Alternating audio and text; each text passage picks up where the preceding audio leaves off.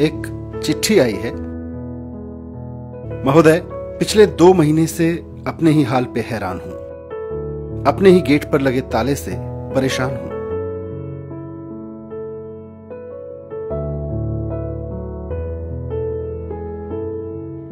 हर period पर बजने वाली घंटी भी चुप है।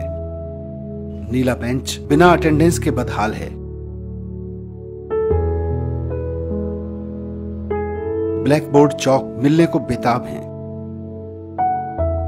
स्मार्ट बोर्ड जाग उठने को तैयार है।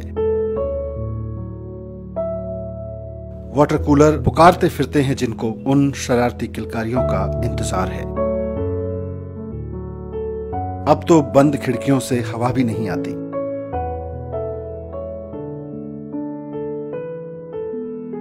दीवारें भी नहीं बुलाती।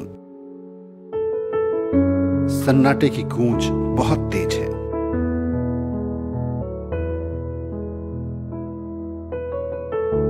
गार्ड अंकल की ऊँची मूछों का ताव कम हो गया है।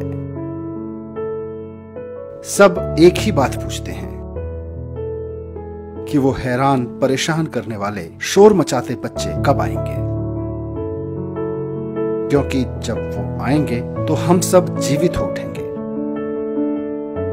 और उनका दोनों बाहें फैलाए स्वागत करेंगे।